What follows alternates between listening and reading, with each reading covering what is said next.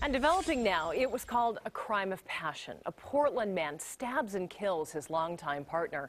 KOIN Local 6 reporter Brent Weisberg is live at the Multnomah County Courthouse with more on today's sentencing of Steven Abbett.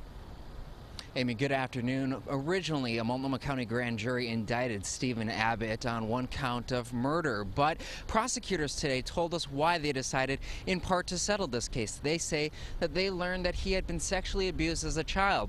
But that itself does not explain why he killed his longtime partner.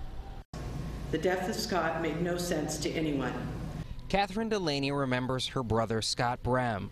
Scott was a loving and giving man.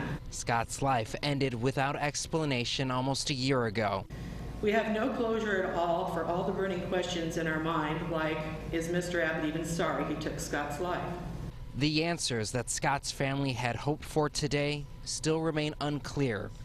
Steven Abbett, the man who confessed to stabbing his boyfriend of more than 10 years today, could not bring himself to apologize. Steve loved uh, Scott unconditionally as well.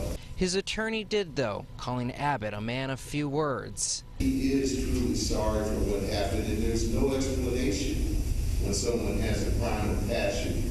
It was this time last year that Abbett stabbed Scott to death in the back of this garage in southeast Portland. That day became the most devastating day in all of our lives.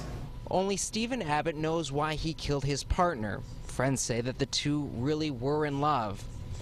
They always went fishing and never seemed to fight, which made Scott's death even harder to comprehend. I pray that our family will begin the healing process today.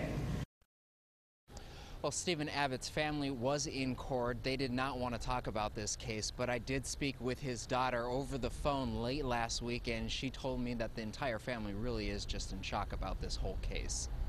Reporting live downtown, I'm Brent Weisberg, KOIN Local 6.